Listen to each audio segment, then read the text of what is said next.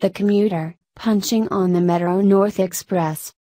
It's been a nearly a decade since Liam Neeson, already in his mid 50s and with a long and varied resume of film roles to his credit, switched, like Academy Award winner Nicolas Cage before him, into high impact, low ambition action flicks. He'll still show up for a Scorsese movie or a Lego movie, and, one hopes, the Lego Scorsese movie, now and then, but he has played more alcoholic slash widowed slash divorced slash guilt hobbled ex cops or ex killers at this point than Denzel Washington and Bruce Willis and Melissa McCarthy combined.